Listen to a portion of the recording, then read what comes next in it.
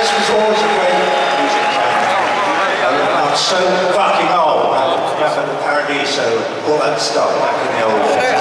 And you guys were always a great audience. And um, so we're so happy to come back here again and uh, be with all you great people oh, in this room. And thank you. It's been very uh, moving for us to perform this this evening. So thank you.